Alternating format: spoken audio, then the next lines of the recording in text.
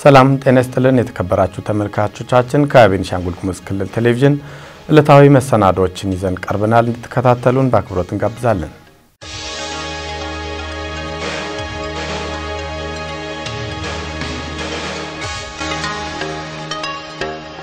በቅድሚያም ክልላዊ ዜናዎች ይቀርባሉ። ከዜናዎቹ ጋር ሙሉ ቀን ባልቻ ነኝ። የህልውናው ዘመቻ በድል እንዲጠናቀቅ 13 ሚሊዮን ብር በላይ ግምት ያለው የገንዘብና የአይነት ድጋፍ ለሀገር መከላከያ ሰራዊትና ለሌሎች የጸጥታ ኃይሎች ድጋፍ መደረጉን የአሶሳ ዞን ብልጽግና ፓርቲ ሴቶች ሊግ ጽሕፈት ቤት አስታወቀም። ተጨማሪ አለን። የአሶሳ ዞን ብልጽግና ፓርቲ ሴቶች ሊግ ጽሕፈት ቤት ኃላፊ ወይዘሮ ረሂማ ሳሌህ ከኢትዮጵያ ተወልዶ እናት ሀገሩን በጦርነት ለማውደምና ለመበታተን የተነሳውን አሸባሪ የህወሓት ቡድንን ለመመከት መስዋዕትነት እየከፈለ ላለው የሀገር መከላከያ ሰራዊትና የጸጥታ አካላት ህብረተሰቡ ደጀንነቱን እያሳየ ይገኛል ብለዋል። የህልውና ዘመቻውን ለማገዝም በዞኑ በስምንቱም ወረዳዎች 6 ሚሊዮን 692600 ብር በገንዘብና በአይነት ድጋፍ ለመሰብሰብ ታቅዶ 13 ሚሊዮን 30704 ብር የሚገመት የገንዘብና የአይነት ድጋፍ በማሰባሰብ ድጋፍ መደረጉን ተናግረዋል። ከድጋፍ ማሰባሰቡ ጎን ለጎን 23 የሴቶች ሊግ ሴት አመራሮችም መሠረታዊ የውትድርና ስልጠና በመውሰድ የአካባቢያቸውን ሰላም ከማስጠበቅ ባለፈ ወደ ግንባር እስከ መዝመት ድረስ ራሳቸውን ዝግጁ እንዲያደርጉም ተደርጓልም ብለዋል። አሸባሪው የህወሓት ቡድን ያሰበውን ዓላማ ሳያሳካ በአፋርና በአማራ ክልል ሽንፈትን ተከናንቦ እንዲመለስ ላደረገው ለሀገር መከላከያ ሰራዊት የደረቅ ስንቅና የገንዘብ ድጋፍ በማድረጋቸውም ኩራት እንደሚሰማቸው ወይዘሮ ረሂማ ገልጸዋል። ሽብርተኛው የትግራይ ወራሪ ኃይል በሴቶችና በህፃናት እንዲሁም በመሠረተ ልማቶች ላይ ያደረሰው በደልና ጥቃት ከኢትዮጵያውያን ባህልና እሴት ያፈነገጠ ተግባር በመሆኑ የሴቶች ሊግ በጽኑ የሚያወግዙት ተግባር መሆኑንም ተናግረዋል። የተጀመረው የህልውና ዘመቻ ሙሉ በሙሉ እስኪጠናቀቅ ድረስም ሁሉም የማህበረሰብ ክፍል ድጋፉን አጠናክሮ በመቀጠል የአካባቢውን ሰላም ለማስጠበቅም ከጸጥታ አካላት ጋር በቅንጅት እንዲሰሩ ወይዘሮ ረሂማ ጥሪ አቅርበዋል ሲል ሪፖርተራችን ታከለ ፈረደ ዘግቧል። መንግስት የዜጎች ሰብአዊ መብቶች እንዲጠበቁና እንዲከበሩ እያደረገ ያለውን ጥረት እንደሚደግፍ ልማት ለሁሉም የበጎ አድራጎት ማህበር አስታወቀም። ልማት ማህበሩ በቤኒሻንጉል ጉሙዝ ክልል በሚንቀሳቀስባቸው 17 ወረዳዎች ዜጎችን የሰብአዊ መብት ጥበቃ በማድረግ በልማት ዘርፉም ተጠቃሚ እንዲሆኑ እየሰራሁ ነው ብሏል። ተጨማሪ አለን። ዜጎች ሰብአዊ መብታቸው ተጠብቆ በሁሉም የልማት ዘርፎች እኩል ተሳታፊና ተጠቃሚ እንዲሆኑ የክልሉ መንግስት እያደረገ ያለውን ጥረት ከሚደግፉ ግብረ ሰናይ ድርጅቶች መካከል ልማት ለሁሉም የበጎ አድራጎት ማህበር ይገኝበታል። በቤኒሻንጉል ጉሙዝ ክልል ልማት ለሁሉም የበጎ አድራጎት ማህበር አስተባባሪ አቶ ያረገል ወርቁ እንዳሉት መንግስት የዜጎች ሰብአዊ መብቶች እንዲከበሩና እንዲጠበቁ እያደረገ ያለው ጥረት ለማሳለጥ ዜጎች ስለ ሰብአዊ መብቶች ያላቸው ግንዛቤ በማሳደግ መብቶቻቸውን ጠያቂና ለግዴታቸው ተገዢ እንዲሆኑ እየሰራ ይገኛል። የመንግስት አካላት በተለይ አስፈጻሚዎች የዜጎችን ሰብአዊ መብቶች እንዲከበሩ በተለያዩ ጊዜያት የግንዛቤ ማስጨበጫ መድረኮች ለተለያዩ አካላት በማህበሩ በኩል እየተፈጠሩ ይገኛል ያሉት አቶ ያደርጋል። ከዚህ በተጨማሪ ማህበሩ በልማት ዘርፎች ላይ በመሳተፍ ዜጎች እኩል ተሳታፊና ተጠቃሚ እንዲሆኑ ከክልሉ መንግስት ጋር በመናበብ እየሰራ ይገኛል። ልማት ለሁሉም የበጎ አድራጎት ማህበር በክልሉ በሚንቀሳቀስባቸው 17 ወረዳዎች ላይ በትምህርት ቤቶች አቅም ግንባታና በጸጥታ ችግር ሳቢያ ጉዳት ለደረሰባቸው ትምህርት ቤቶች ላይ ደግሞ የመልሶ ማቋቋም ስራዎች ላይ ትኩረት አድርጎ እየሰራ እንደሚገኝም አቶ ያደርጋል ገልጸዋል። ማህበሩ በክልሉ በመተከልና በከማሽ ዞኖች ላይ ተፈጥሮ በነበረው የጸጥታ ችግር ሳቢያም ወላጆቻቸውን ያጡ ህጻናት እየደገፈ ነው ያሉት አስተባባሪው በክልሉ ዘላቂ ሰላም እንዲሰፍንም ክብሮች ናሻ ልማት ማህበርና ከትኩረት ለጉሙዝ ልማት ማህበር ጋር በመተባበር ማህበረሰቡን የማወያየትና ዜጎች የዘላቂ ሰላም ባለቤት እንዲሆኑ እየሰራ ነው ብለዋል። በዚህ በአስቸጋሪ ሁኔታ ላይ መተከል specially መተከል አካባቢ ላይ የትምህርት ጥራትና ተደራሽነት ላይ focus አድርጎ እየሰራ ነው የሚገኘው። የተሻለ የሰብአዊ መብት አያያዝ እንዲኖር ከተለያዩ ባለድርሻ አካላት ጋር በመሆን training ኦች እንዲሰጡ እየሰራ ነው ያለው።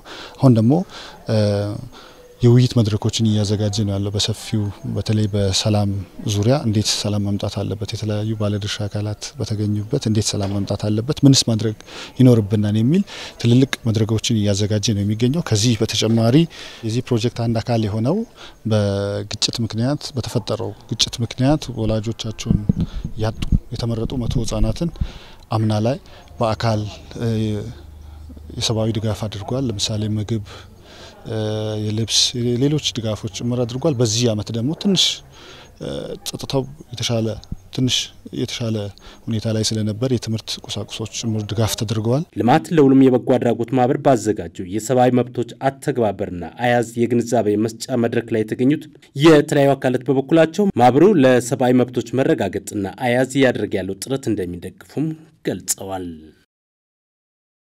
ባለፉት አምስት ወራት ውስጥ 563 ሚሊዮን ብር በላይ ገቢ መሰብሰቡን የቤኒሻንጉል ጉሙዝ ክልል ገቢዎች ባለስልጣን አስታወቀም። አቡበክር ሀሰን ዝርዝሩ እንደሚከተለው አዘጋጅቶታል። የገቢ አሰባሰቡን በማስመልከት ከክልሉ ብዙኃን መገናኛ ድርጅት ጋር ቆይታ ያደረጉት የክልሉ ገቢዎች ባለስልጣን ዋና ዳይሬክተር አቶ መለሰ ኪዊ በክልሉ በተያዘው 2014 የግብር ዘመን ከተለያዩ የገቢ ምንጮች 1.8 ቢሊዮን ብር ለመሰብሰብ ታቅዶ ወደ ስራ መገባቱን ጠቁመዋል። በግብር ዘመኑ ባለፉት በአምስት ወራት ለመሰብሰብ ከታቀደው 775 ሚሊዮን 396311 ብር ውስጥ ከተለያዩ የገቢ ምንጮች 563 ሚሊዮን 595272 ብር በመሰብሰብ የእቅዱን 73 በመቶ ማሳካት መቻሉን ዳይሬክተሩ አስታውቀዋል። አፈጻጸሙም ከአምናው ተመሳሳይ ወቅት ጋር ሲነጻጸር የ118 ሚሊዮን ብር ብልጫ አለው ብለዋል።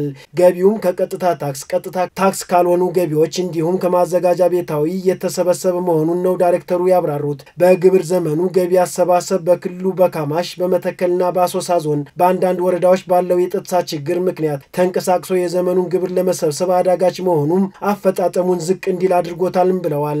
በከማሽ ዞን አራት ወረዳዎች በመተከል ሶስት ወረዳዎችና የካማሽና የግልገል በለስ ከተማ አስተዳደሮች የተሟላ የአምስት ወራት የገቢ አሰባሰብ መረጃ አለመላካቸውም ለአፈጻጸሙ ዝቅ ማለት የራሱ ድርሻ እንዳለው ጠቁመዋል። በወረዳዎችና ከተማ አስተዳደሮችም ካለው የግብር ከፋይ ብዛት አኳያ ገቢን አሟጦ ያለመሰብሰብ ከደረሰኝ ጋር ተያይዞም ግብር ከፋዩ በአግባቡ ያለመቁረጥና ሸማቹም ደረሰኝ ያለመውሰድ ክፍተት እንዲሁም የገቢያ እንቅስቃሴ መቀዛቀዝ ችግሮች ይስተዋላሉ ብለዋል። በቀሪ ወራቶች የዘመኑን ገቢ እቅድ ለማሳካትም በየደረጃው ካሉ የዘርፉ ተቋማት የሚቀርቡ ቅሬታዎችን በደንብና መመሪያ ምላሽ መስጠት፣ የታክስ ኦዲት ስራን በማጠናከርና አፈጻጸማቸው ዝቅተኛ ለሆኑ ወረዳዎች እንዲሁም ከደረሰኝ አቆራረጥ ጋር ተያይዞ ያሉ ክፍተቶችን ለመመለስ የክትትልና ቁጥጥር ስራ ማጠናከር ስራ ይሰራልም ብለዋል። ከጸጥታ ስራ ጎን ለጎን በየደረጃው ያሉ የክልሉ የግብር ከፋዮች በወቅቱ የሚፈለግባቸውን ግብር እንዲከፍሉም ለማስቻል የተደራጀ ስራ የሚጠይቅ በመሆኑ ሁሉም ባለድርሻ አካላት እገዛ እንዲያደርጉም አቶ መለስ ጥሪ አቅርበዋል። የተከበራችሁ ተመልካቾቻችን ለዕለቱ ያዘጋጀናቸው ክልላዊ ዜናዎች እነዚህን ይመስሉ ነበር። ከቀሪ የቤጉ ቲቪ ዝግጅቶች ጋር አብራችሁን ቆዩ።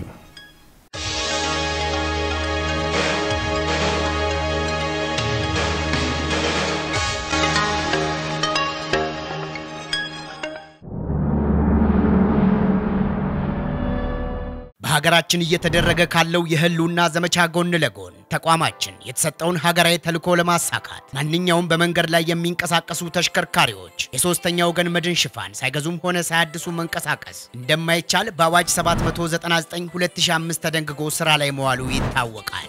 በዚህም መሰረት በሀገሪቱ ውስጥ ያሉ በሞተር የሚሰሩ ሁሉም ተሽከርካሪዎች ከህዳር 22 እስከ ታህሳስ 21 2014 ዓ.ም የሶስተኛ ወገን መድን ሽፋን ይግዙ፣ ያድሱ። ከታህሳስ 22 2014 ዓ.ም ጀምሮ ይህንን ተግባራዊ ሳያደርጉ በሚንቀሳቀሱ ተሽከርካሪዎች ላይ የመድን ፈንድ አገልግሎት በአዋጅ በተሰጠው ስልጣንና ተግባር መሰረት ከብር 3000 እስከ 5000 ወይም ከአንድ ዓመት እስከ ሁለት ዓመት የእስራት ቅጣት ለመተግበር በየአካባቢው ከሚገኙ ባለድርሻ አካላት ጋር በቅንጅት ጥብቅ ቁጥጥር በማድረግ ህግ የማስከበር ስራውን ይጀምራል።